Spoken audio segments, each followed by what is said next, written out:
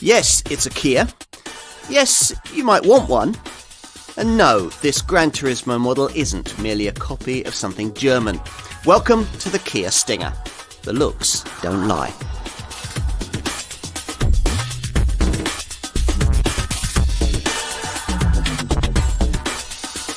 Did you ever imagine that one day Kia would bring you something like this?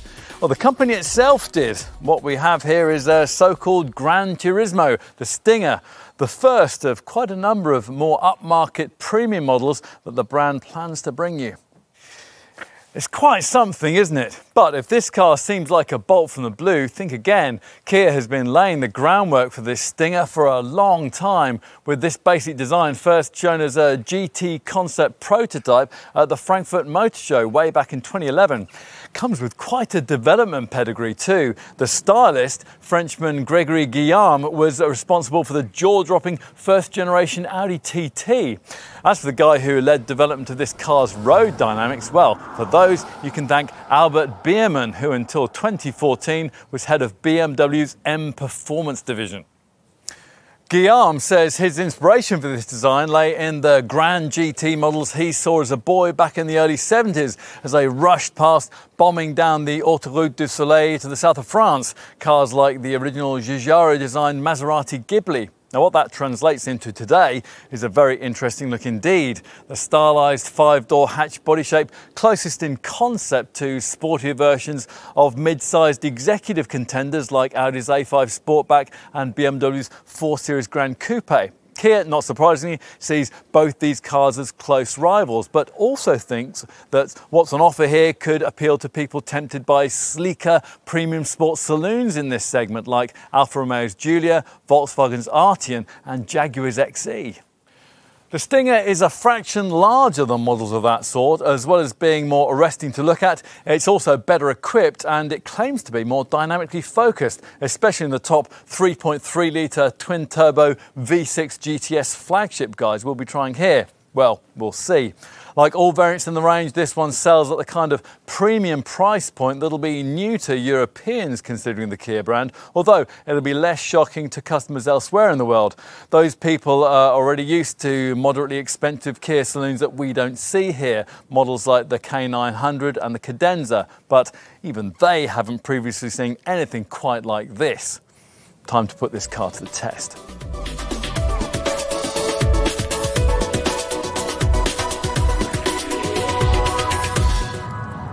Kia doesn't do things by halves. Now you know this the first time you set eyes on a Stinger, and you're even more sure of the fact uh, the deeper you delve into the development history behind this car. It was certainly with models like this in mind that back in 2014, a fortune was paid to bring the former head of BMW's M Performance division, Albert Biermann, to come and develop the Korean maker's premium products. And the story is told the first time he set eyes on the prototype of this design. Right, he said, we have to make sure this car drives the way it looks. Biermann and his team were clever enough to know that there was no point in trying to make some kind of tarmac tearing, track focused BMW M style model out of the Stinger. Apart from anything else, that's not what the uh, Gran Turismo concept that it's intended to epitomize is supposed to be all about. Uh, I think instead of this Kia being a kind of Porsche Panamera for the relatively well heeled common man, and you'll be closer to understanding the objective being targeted here. And this model was never intended intended to be the grippiest or the most agile choice in its class or the fastest, but the engineers did want it to be poised and engaging in a way that no previous Korean contender had ever been. Like the Panamera, it's a car in which you feel you could cross continents, uh, but also like that Porsche model, there's enough dynamic feedback here to keep you aware that much more than that is possible. So that, say, en route to southern Europe, you could take in a lap or two of the Nürburgring Nordschleife on the way. That was a circuit where the majority of this car's ride and handling development was perfected, and that's something that you can really feel through this Stinger's impressively accomplished blend of high speed stability and crisp directional responsiveness. It's good enough to be considered alongside anything you could experience in a rival German premium brand model. But can the same be said about the engine wear on offer beneath the bonnet? After all, it's one thing fine tuning ride and handling with poached expertise from other brands. It really is quite another to try to worry established European makers with powertrains that are either aging or which were originally developed for models with quite different priorities. Prior to trying the Stinger, we had worried for Kia on that score.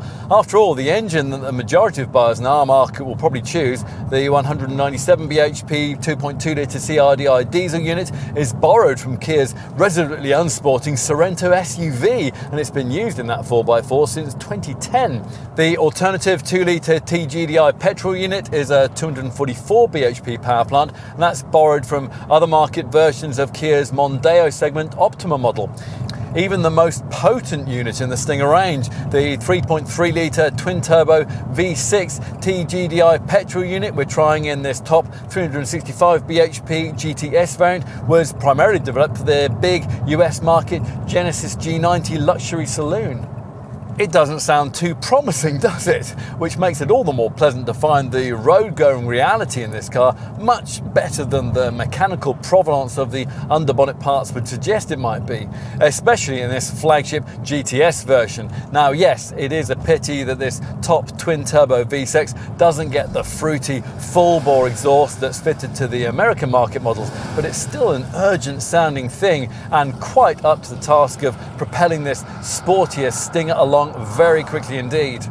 Use the provided launch control system, and from rest, you're fired up the road to 60 miles an hour in just 4.7 seconds en route to a 168 miles an hour maximum. That's quicker than anything BMW can serve up in a rival 4 Series Gran Coupe, and on a par with much pricier performance segment big hitters like Audi's S5 Sportback and the Mercedes AMG C43. Does it feel quite that fast? Uh, well, in truth, no.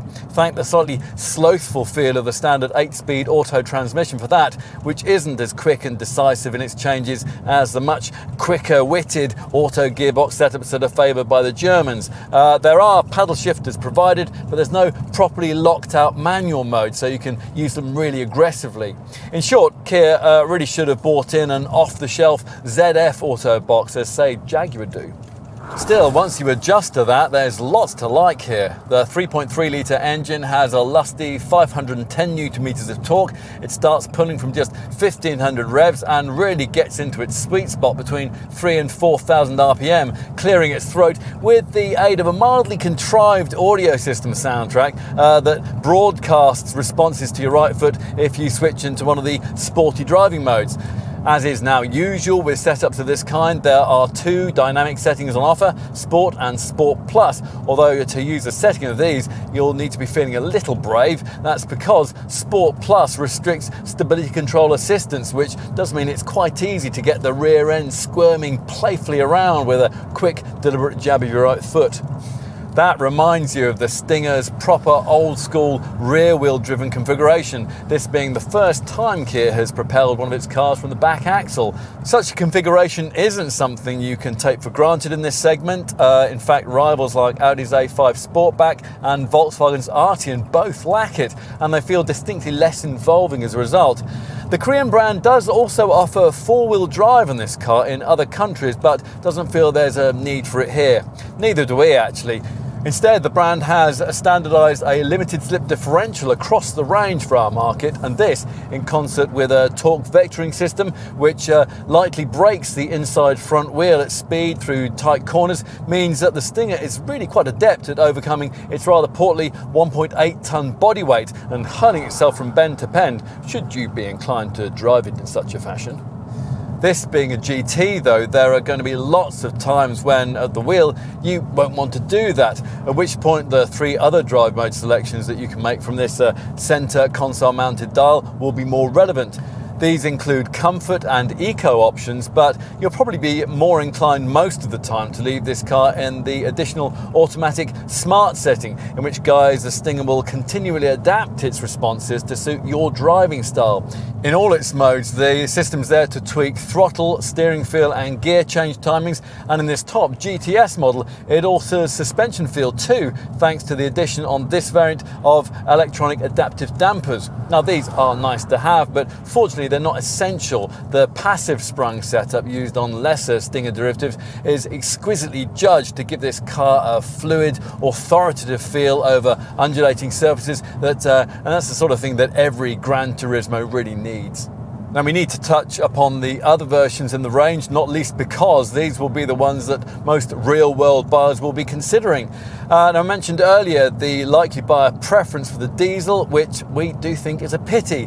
As you'd expect, uh, this 2.2 litre unit does have plenty of pulling power, 440 newton meters of it, and the performance figures do look reasonable. Uh, 60 miles an hour from rest achieved in 7.3 seconds on the way to our 143 mph maximum. Unfortunately, though, the refinement of that 2.2 litre CRDI unit does rather betray its SUV origins with levels of vibration and boominess that buyers in the premium sports saloon segment will be unused to. We direct you instead towards the surprisingly impressive 2 litre TGDI petrol power plant. Its 244 bhp output gives you 47 bhp more than you get in the diesel and much sprightlier feeling performance. Uh, the stats improved to 5.8 seconds en route to 140 49 miles an hour. Predictably, that unit does lack the aural drama of this top V6, but like that model, it's superbly refined at cruising speeds and it feels as urgent and purposeful as you'd expect a relatively affordable GT model's power plant to be. So yes, most of what this car is about can be delivered by the entry-level petrol model, but if funds permit, it can be completed by this GTS variant. Either way, an out-of-the-ordinary experience awaits.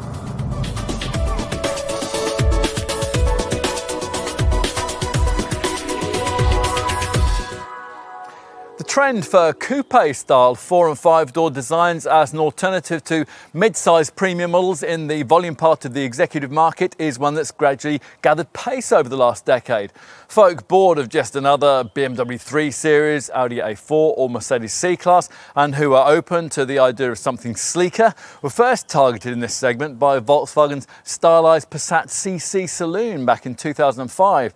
Audi proved the same concept could work with five doors with their first generation a5 Sportback model of 2012 and two years later BMW tried much the same thing with its 4 Series Gran Coupe. Now this Stinger stays with that five-door format but delivers it in a longer, lower form than is the case with comparably priced rivals. It's certainly a shape far more deserving of evocative Gran Turismo billing.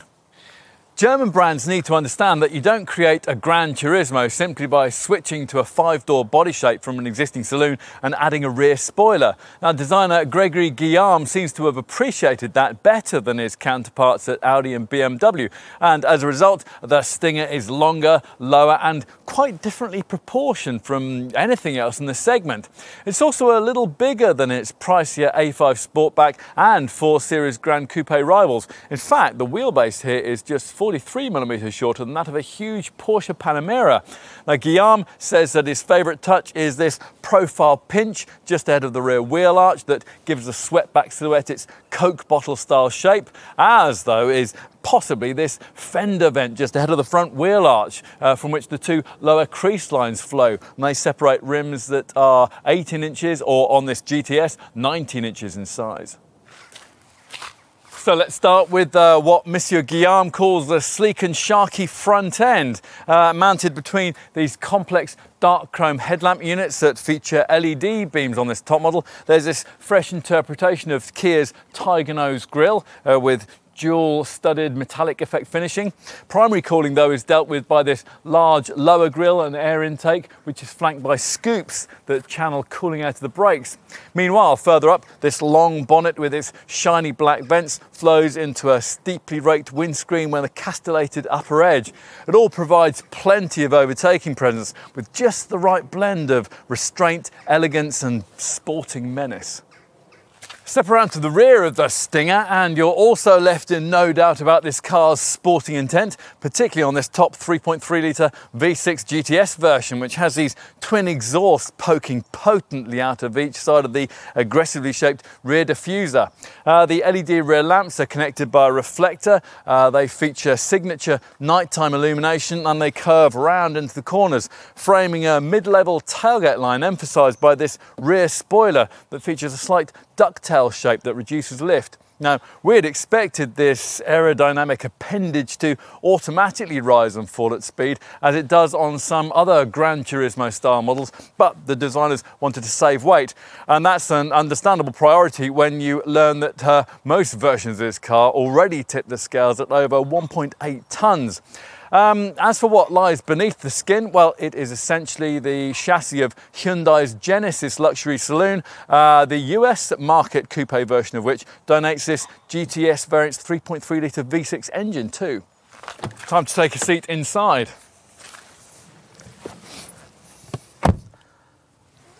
Where a horrible chintzy welcoming chime sets a jarring note right from the outset, which is a pity because there's very little else to object to in a cabin that's far more luxurious and enveloping than you'd think the interior of a Kia ever could be. Uh, the faux leather, soft touch trimmed centre console is broad, necessarily so because the gearbox and drive shaft have to be packaged in beneath it, and you sit low on leather stitched figure hugging sports seats that offer a host of adjustment and on this GTS variant feature inflatable side bolsters and they'll be ideal to hold you in place during enthusiastic cornering. Uh, there are definite hints of Porsche and Mercedes here. The stubby auto gear lever, the jet turbine style three chromed central round vents, but this cabin is much more than some kind of derivative Teutonic homage. It has its own sense of style and quality too, with cool metal surfaces, stitched leather trim panels and beautifully damped switchgear. Uh, the flat-bottomed three-spoke D-shaped steering wheel is perfectly positioned and it feels good to hold with just the right rim thickness and smart paddle shifters for the auto gearbox.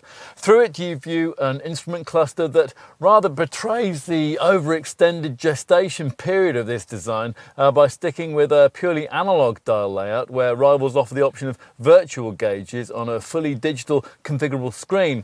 Now we don't have an issue with this, there is a standard head-up display and compensation and the dials in the binnacle are clear and classily presented, plus they're usefully separated by a 7-inch Supervision cluster colour display that, as well as all the usual trip computer and settings functions, also gives you the option of selecting the G-force and lap timer displays that you'll need when you're returning this Stinger to the Nürburgring Nordschleife racetrack where it was developed. I mean, if you buy this car, then at least once you really should.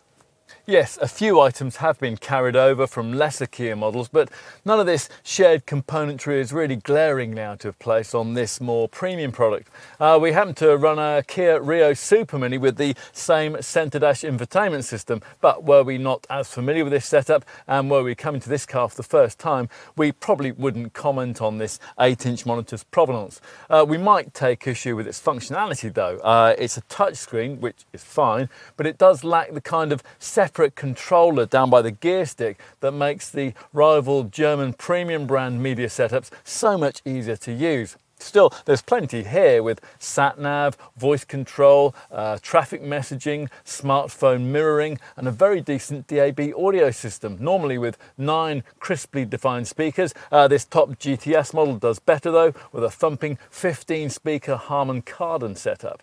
In addition, using the Kia Connected Services with TomTom package, uh, you can check up on jams, the weather, safety camera locations and local information such as petrol stations and places to visit.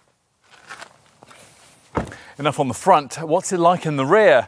Uh, now, the cars that this Stinger's priced against aren't especially generous when it comes to meeting the spatial needs of backseat folk. This Kia, though, comes from different stock with a wheelbase around 100 millimeters longer than, say, that of a rival BMW 4 Series Grand Tourer. It's a substantial 190 millimeters longer than that car and also around 100 millimeters longer than a competing Audi A5 Sportback too.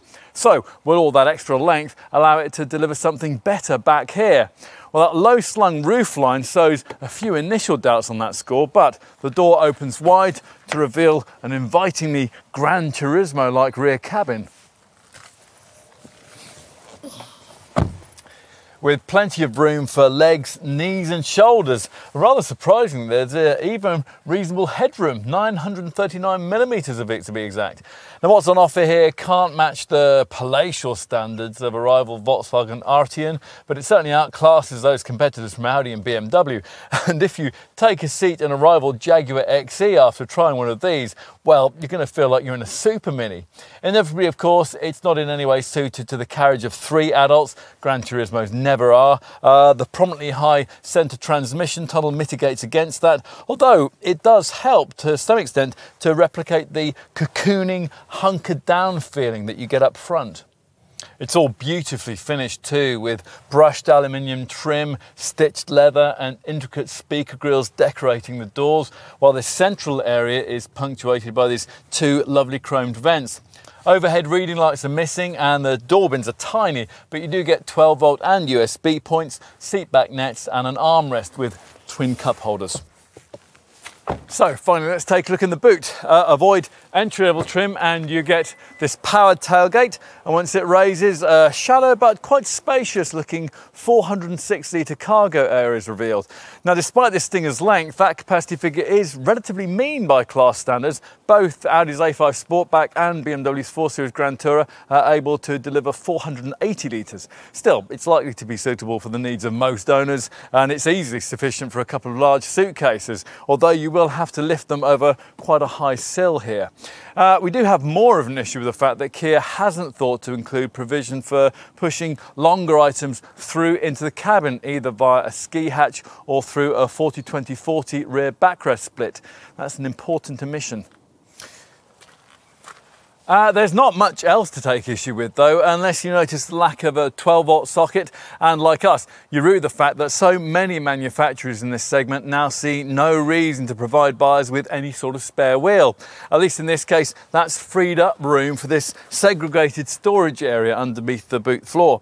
Uh, securing rings let you lash more delicate items in place. If you need more capacity, you can of course uh, drop down the 60-40 uh, split seat backs. Uh, the space then freed up isn't completely flat, but it is quite large, 1114 litres in total capacity.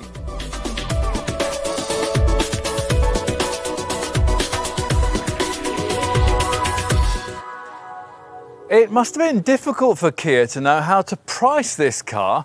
Uh, Size-wise, it sits between the mid-sized and full-sized premium executive segments, or to put another way, between BMW 3 Series and 5 Series models, if that makes more sense. It's a hatch, of course, those models are saloons, and that once would have been preferable for company customers. Um, in recent years, though, many of them have been uh, persuaded to pay more for stylized hatchback versions of these cars, and that's typified in the mid-level executive class by the BMW 4 Series Gran Coupe and the Audi A5 Sportback, and in the full-size segment by BMW's 6 Series Gran Turismo and by Audi's A7 Sportback. Again, the positioning with this Korean contender is between these two classes in terms of size but not, of course, in terms of price. Aware that its brand equity can only be pushed so far, Kia has costed this Stinger just below premium segment mid-sized 3 Series class models, and that means an asking figure for the least expensive 2-litre petrol turbo version of this car of around £32,000. Now that amount gets you entry-level GT line spec, which for a £1,600 premium also comes with the 2.2 litre CRDI diesel engine that it's predicted that over 40% of Stinger buyers will want. If you are happy for the price to crest £35,000, then you'll be interested to know with both those engines, there's a plusher GT Line S trim level that's offered at a £3,500 premium. Beyond that, there's only the flagship 3.3 litre TGDI V6 petrol variant we're trying here, which comes only in a single fully loaded GTS spec and requires a £41,000 budget for ownership. All variants use an 8-speed auto gearbox and they all drive through the rear wheels. Kia, for the time being, deciding against the all-wheel drive platform that it offers in other markets. So how does that value proposition stack up? Well, Kia certainly seems on solid ground with the 2-litre petrol entry-level Stinger variant. Think in terms of needing to pay six to £7,000 more for directly comparable rivals like a BMW 430i M Sport or an Audi A5 Sportback 2-litre TFSI Sport. Even slightly less mainstream stylized four to five seat models in this category struggle value wise when they're asked to match the potent performance and price proposition of that 2 litre TGDI Stinger. So we're thinking here of an Alfa Romeo Giulia 2 litre turbo petrol 280 bhp Veloce, uh, perhaps also Jaguars XE in 2 litre 300 PS R Sport form, and the 2 litre TSI 280 PS version of Volkswagen's Arteon. All three cars are priced at over £38,000.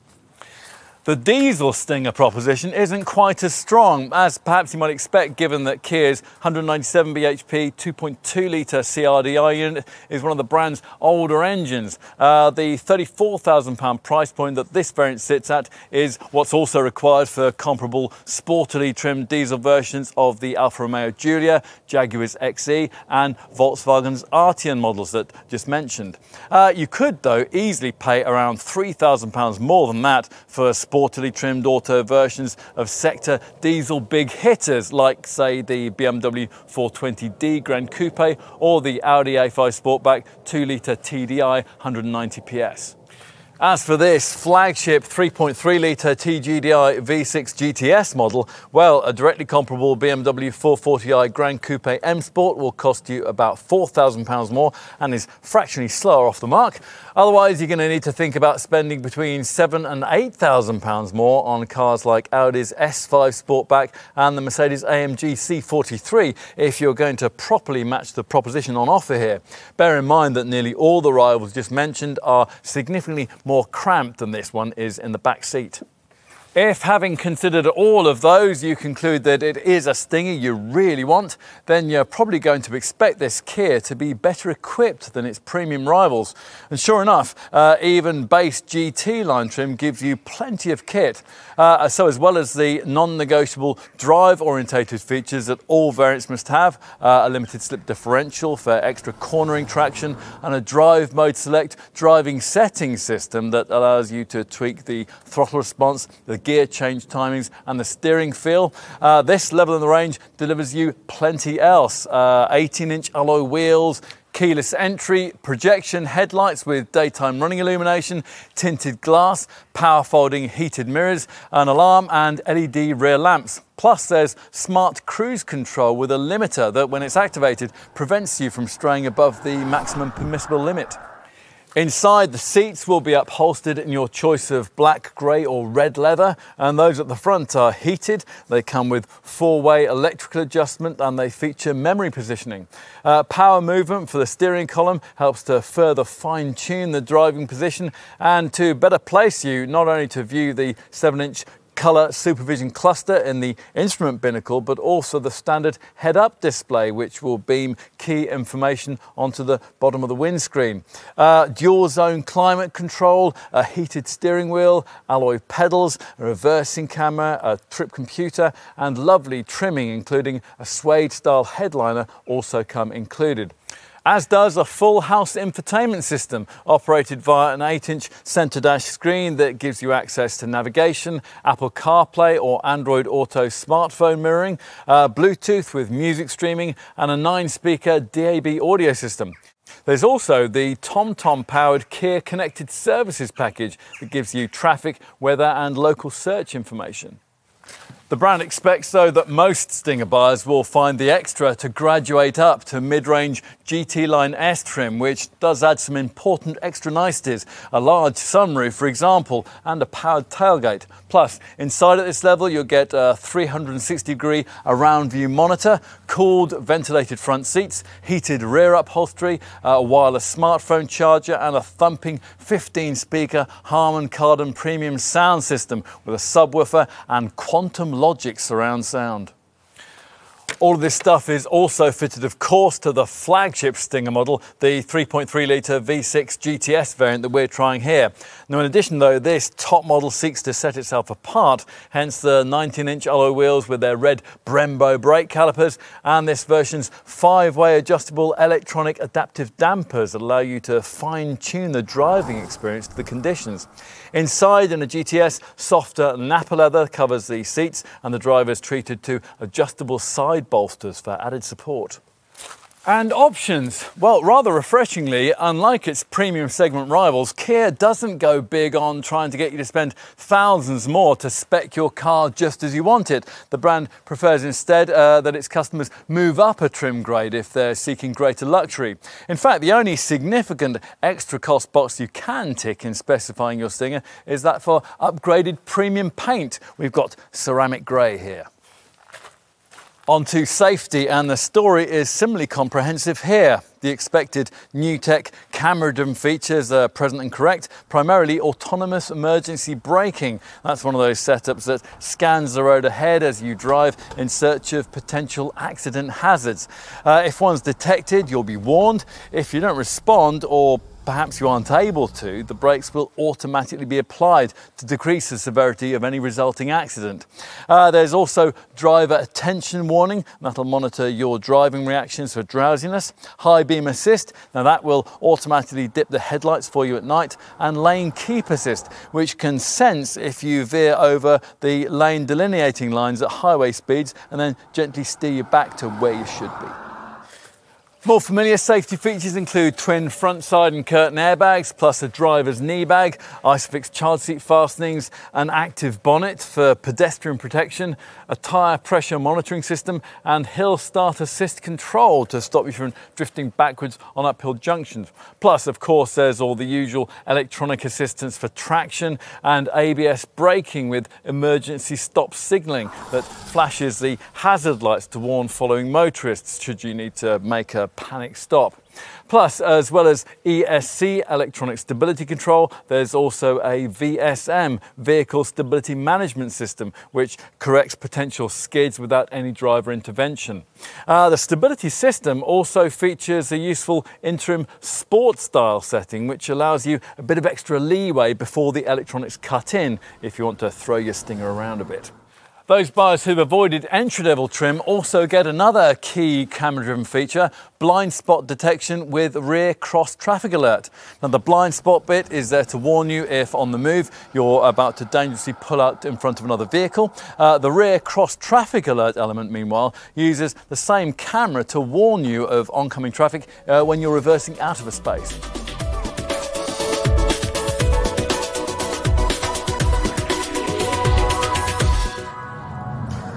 If there's one area of world-class car design that Kia and its Korean ownership conglomerate has yet to crack, then it's probably that of running cost efficiency. As other brands have proved, there's no real secret to how you get this right. It's about cutting-edge engine design plus lightweight chassis and bodywork technology. You then mate that to the electronic efficiency measures that are now common in most modern cars, and you find yourself able to make really dramatic differences to fuel and CO2 figures especially when it comes to premium segment luxury models that previously would have struggled in this regard. Kia will one day get all of this sorted right across its model range. One glance at the company's hybrid and electric models is enough to tell you that it has the technology and the willpower to do that. That this hasn't happened yet is very evident from a glance at the stats of the various Stinger models, which, in very rough terms, deliver running cost efficiency figures that are around 20% behind those that you'd enjoy in a comparably powerful European rival. That's despite the provision of the company's intelligent stop go engine stop start system on all variants. A lot of this is down to weight, and in turn, a lot of that is down to the rather overextended gestation period of this design. Uh, the GT concept model of 2011 that today's Stinger is based on was conceived some time before current developments in lightweight chassis technology began to take effect. In fact, none of that was really necessary for the K900 luxury saloon that was first to use the model platform provided here, but it is important in the GT segment that the Stinger finds itself competing in now now this Kia is around 150 kilos heavier than a rival BMW 4 Series Gran Coupe and around 300 kilos heavier than a comparable Audi A5 Sportback. That's a massive difference and it has to show up in the stats, and indeed it does. Uh, the best returns in the Stinger range are of course provided by the 2.2 litre CRDI diesel, which manages a combined consumption figure of 50.4 mpg and emits 147 grams per kilometre of carbon dioxide. Switch to the 2 litre TGDI petrol model that we'd recommend recommend, and those figures fall to 35.8 mpg and 181 grams per kilometre. Uh, with the 3.3 litre twin turbo V6 petrol GTS flagship variant we're trying here, the returns are 28.5 mpg and 225 grams per kilometre. Before you despair of getting the prospect of Stinger motoring by your company accountant, though, do bear in mind that much of this shortfall can be countered by this Kia's significantly lower asking price. Even the predicted residuals aren't too bad, bearing in mind that uh, there are restricted levels of brand equity here. Industry experts CAP reckon that after three years and 60,000 miles, your Stinger will still be worth between 36 and 39% of what you originally paid for it. To give you some perspective, that is about the same as you get from a top BMW 4 Series Gran Coupe, and only a few percentage points off the class leader in this regard, Audi's A5 Sportback. Of course, these are only predictions, and with a fashion conscious product of this kind, uh, the outlook can always be a touch uncertain. Nevertheless, if only on sheer rarity value, this Stinger can be expected to doggedly hold on to its value in a way that no previous Kia model ever has. You might do a double take when it comes to the service intervals, though, uh, at least on the petrol variants anyway. Uh, they require scheduled maintenance halts as frequently as every six months or 6,000 miles, whichever comes around soonest. It is a bit better with the CRDI diesel version, where garage appointments are needed every year or 10,000 miles. Kia says that it will enable buyers to keep the cost of this in check with a range of available prepaid Care 3 servicing packages that you can sign up for at point of purchase. Now, these can take care of the cost of either the first three or the first five dealer visits.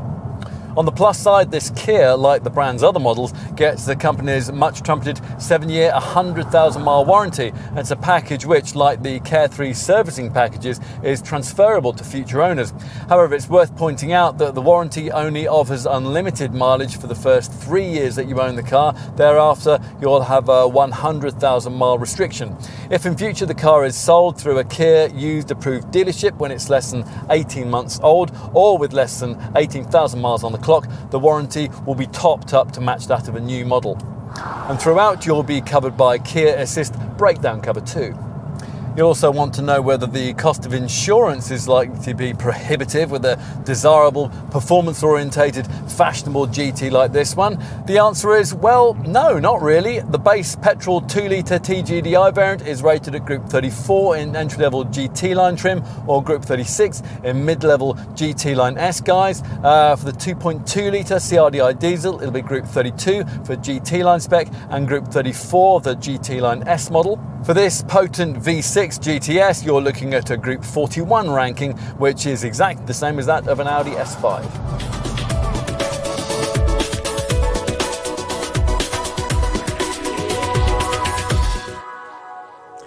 It's probably evident by now that we like the Stinger very much. It's certainly not the kind of car you would have expected from this ambitious Korean brand, but in many ways, it's a sort of model only Kia could have made. The styling is unconstrained by the need to reference other premium designs in the brand's portfolio because, for the time being at least, there aren't any. In the same way, the drive dynamics have been individually judged, giving this car a fluid, rewarding feel that fits perfectly with its Gran Turismo billing. Once you've tried it, you'll feel a hint of compromise in most European rivals. Designer Gregory Guillaume reckons the Stinger will signal a paradigm shift in the way that customers perceive the brand, and that could well be true. Certainly represents a brave move on Kia's part, from its cartoonish name to the swagger in its styling to its uh, defiantly old school European style rear driven platform. But no matter how good it is, executive buyers will have to get past that badge on the boot lid. The Koreans are right to think that even a couple of years ago, the company's market positioning couldn't have sustained a car like this. It'll be interesting to see if it can now.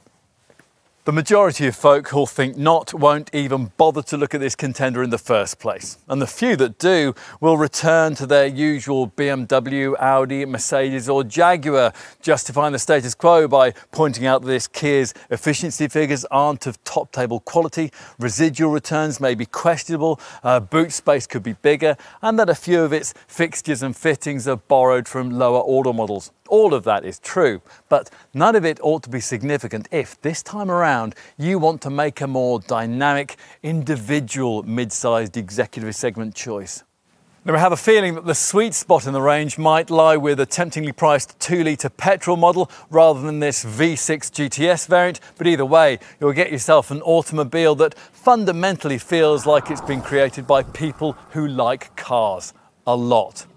That is a rarity in today's market, and it deserves your attention.